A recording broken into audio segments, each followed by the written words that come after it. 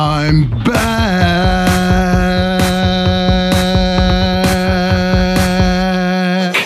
The Tarantula Collective. My name is Richard, and it's been about six weeks since I uploaded a video, so I, have really missed you guys. It's awesome to be back. And I can tell by some of the comments that you all have missed me as well, so thank you so much for sticking around and showing all that support. I had only planned on taking January off, but we all got COVID here, and it just it just kind of screwed up all of December, so it was an extended vacation. But I am back now, and we're gonna kick off 2022 with a tour of the Tarantula Collective. It was just a few weeks ago, I uploaded a picture on Instagram and Facebook right after I cleaned up and straightened the basement. And a lot of people were leaving comments about how huge the basement is. The reality is that was an optical illusion. I was using a wide angled lens, so it made it look a lot longer than it was. Really, it's only about 26 feet long and 13 feet wide. Still plenty of space. I got a lot of space here, I'm not complaining, but it's definitely not as large as it looked in that photo. I'm gonna keep this video fast. I'm just gonna kind of show you everything that's changed, give you some updates that you guys have been asking about, hopefully answer some questions. Then I'm gonna start working on some new videos. So I guess we'll just jump right into the tour.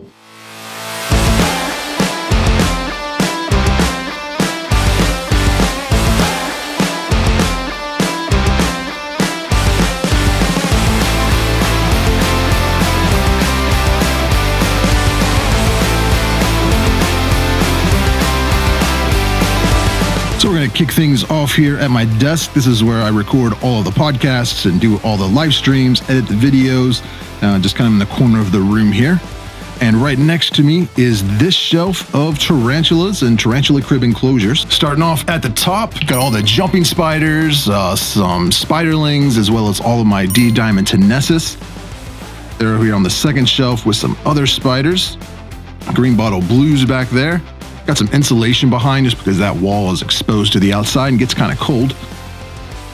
There's uh, the Pamphobeteus platyomma, kind of hard to see it back there. And then this is uh, the M. balfouri communal that we got from uh, Josh's Frogs.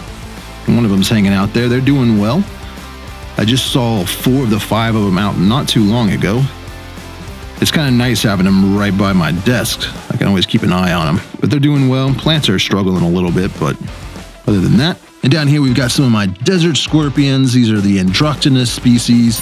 I kind of they like it a little bit warmer. The heater just turned on, so it's only 70 in there right now. That's my uh, what is this? A Sonoran or a desert centipede enclosure? And over here we got a shelf with a bunch of camera equipment, filing cabinet.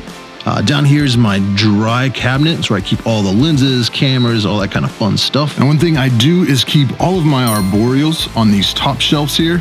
And then on the bottom shelves, the lower shelves are all the terrestrials and fossorials. So over here, we've got the uh, Poecilotheria vittata enclosure, uh, Lampropelma borneo black.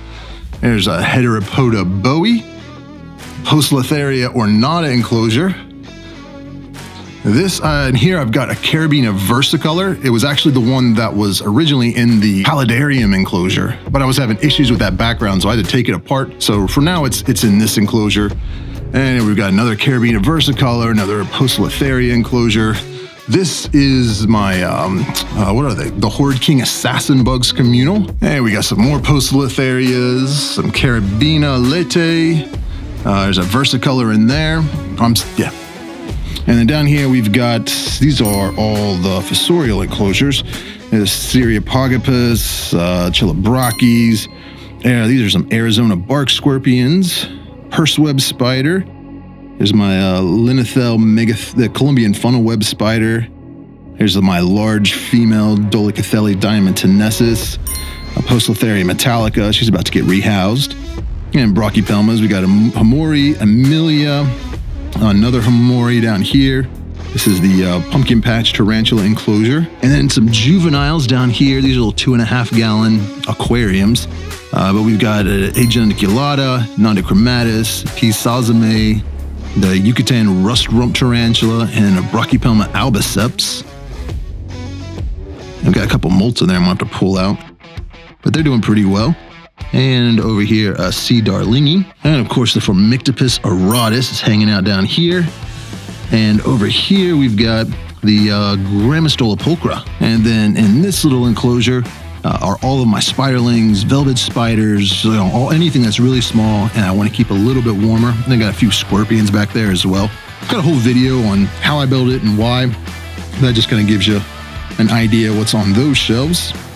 And then moving over here, this is, oh, what is this? This is a little GBB uh, juvenile. And this is a bioactive enclosure for the Theraphosa blondi. And this is another bioactive enclosure for the Theraphosa apophysis. I've got a Monocentropus balfouri back here. Uh, down here is the vinegaroon, uh, Pamphobeteus vespertinus, which you can barely see, but she's actually out and about. And then this is the new enclosure for my Brachypelma baimi. It's course hiding. Now this is the little set I built for filming the nature documentary style videos. I'm about ready to kind of redo it all for more of a South American tropical kind of look. So those videos will be coming soon. Over here we've got a tailless whip scorpion enclosure. And then another avicularia. That one's a mature male. He's not going to last much longer.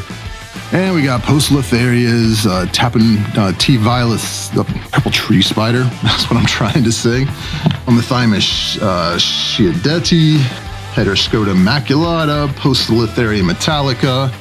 There's a Heteropoda David Bowie, another Poecilotheria metallica, and a Psalmopoeus irminia. Starting off over here, we got an H. gigas, let's see, Chilobrachys species Electric Blue, Haplopelma schmidti, and these are all my Harpactira species. This is the Harpactira dictator, H. pulchripes, H. cafreriana, another H. pulchripes.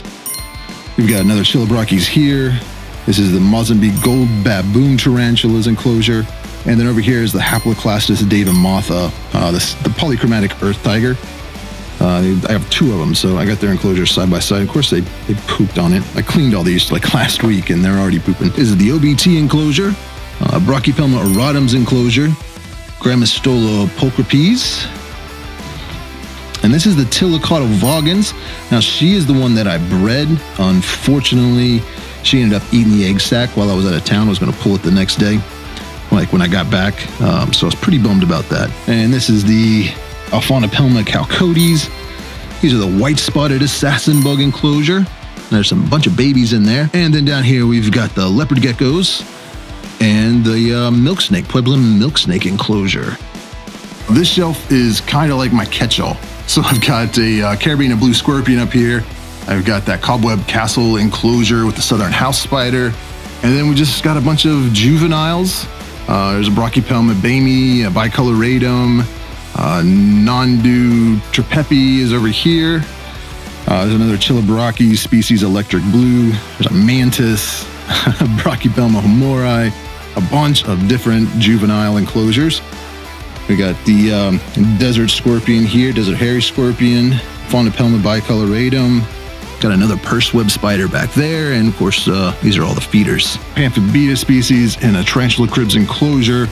Um, this is some ivory millipedes. Oh, I'm sorry, no, this is the, the Titan isopods. All right, on here, this is the ivory millipede enclosure. Uh, Xenesthis immanis. I think I got those switched. That's the Xenesthis immanis. That's the Pamphobeteus. And uh, what is this? That's the Texas. Nope, that's the Aphonopelma hentzi down here. That's another Pamphobeteus. I got it labeled on the underside. And then all of these here are just isopod colonies. So I've got a bunch of isopods there. Now this is new. You haven't seen this yet, but I'll give you a little sneak peek. This is a new king snake enclosure that I've been working on. Came from Custom Reptile Habitats. And I'm uh, just kind of letting the plants settle in. I'll be moving the snake in soon, finishing up that video and posting it for you.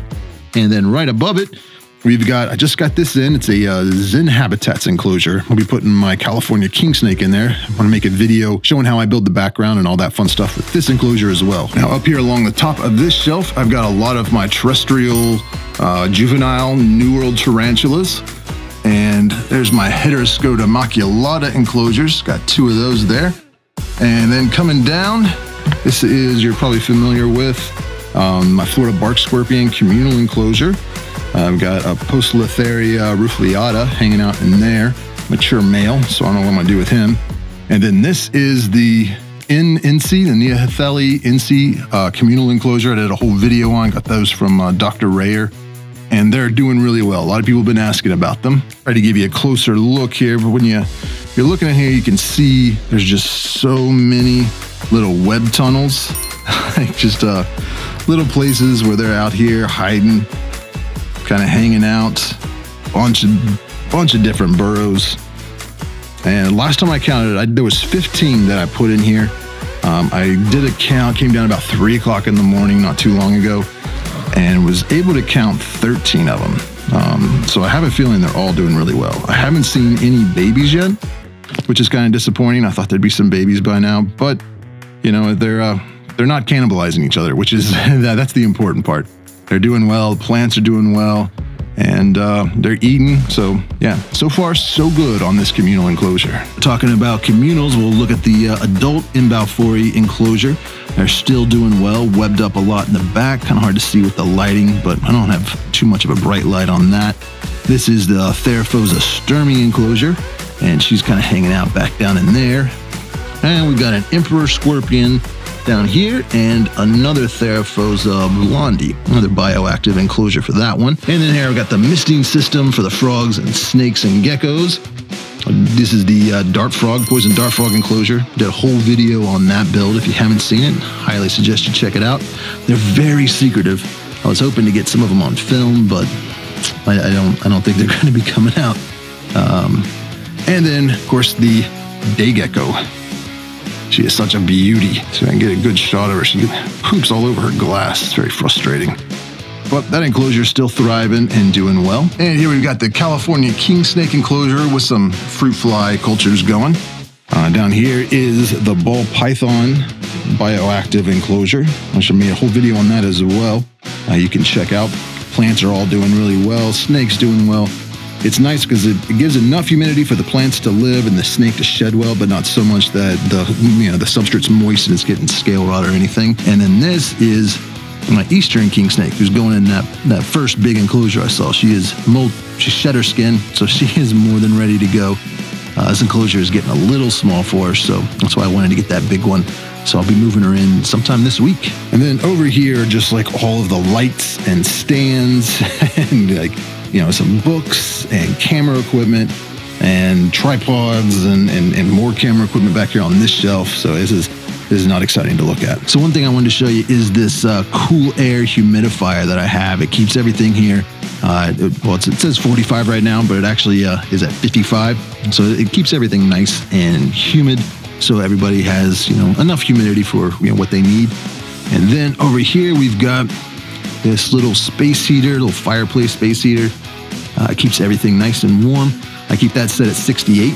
So, uh, you know, it's kind of cool, but it's winter time. So it, it, it keeps everything optimal temperatures. All right, so there you have it. A quick and messy vlog, but now you're all caught up on what's happening here in the Tarantula Collective. I haven't added any new species since I've been gone, and maybe later on this year we'll add some, we'll do some unboxings, but it's not a priority. It's not something that I'm rushing towards. What I'm focusing on this year is making some more of the nature documentary videos, some care and husbandry videos, and covering some scientific topics and research and news that's coming out. And I also got rid of my old merch store. I switched companies, got a new company, and we're doing a merch drop today today. So this will be the first day it's live and available for everyone to purchase. If you want to check out the new merch store. It's on my website, thetarantulacollective.com. I'll link it down below in the video. Got some really cool styles that hopefully you guys will like, and it's only available for a limited time. So it'll just be like 60 days. This stuff will be available, and then the store will get shut down. I'll redesign some new merch and launch that in spring. Now, as of recording this video, we are very, very close to hitting 100,000 subscribers. I think we're like 99,660 some. So by the time you're watching this, if the trend of a couple hundred subscribers a day continues, continues, then we'll have just crossed 100,000, which is very exciting. It's definitely a goal since I started the channel. So